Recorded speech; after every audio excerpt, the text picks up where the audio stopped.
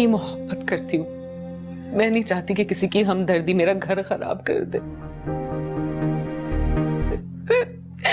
मैं मर जाऊँगी, मैं सच कह रही हूँ। ड्रामा सीरियल कुमार की नेक्स्ट एपिसोड में आप देखेंगे कि कहकशां बेगम फायज से कहती है कि लाइबा हमें हरीम के घर ले आई है।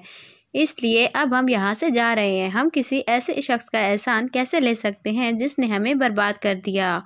नासिर क्या कहकशां बेगम से रकम लेने के लिए उनके घर जाता है। वहाँ जाकर नासिर को इस बात का पता चलता है कि कहकशां बेगम तो यहाँ से चली गई हैं और उनका घर नीलाम हो चुका है। उनके पास अपने रहने का भी ठिकाना नहीं रहा। उनके बड़े बेटे रायान ने उन्हें बहुत जलील किया है। सुना था वो रायान की बीवी हमना के घर शिफ्ट हो गए हैं। आगे का हमें नहीं पता। नासिर अब परेशान हो जाता है कि अगर मेरे इलाज के लिए रकम का बंदोबस्त नहीं हुआ तो मैं माजूर हो जाऊँगा और कैसे अपनी सारी ज़िंदगी गुजारूँगा? अब मुझे कुछ भी करके ये मालूम करने की कोशिश करनी होगी कि आखिर कहकशां बेगम और उसके घर वाले हैं कहाँ?